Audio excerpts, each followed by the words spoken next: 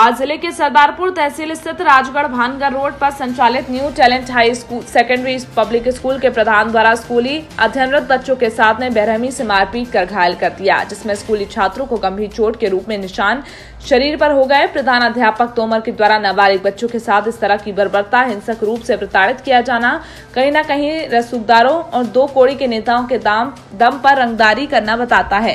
Covid 19 के चलते private स्कूलों के संचालन की संपूर्ण व्यवस्था मध्य प्रदेश शासन के आदेशों के आधार पर संचालन किया जाना है।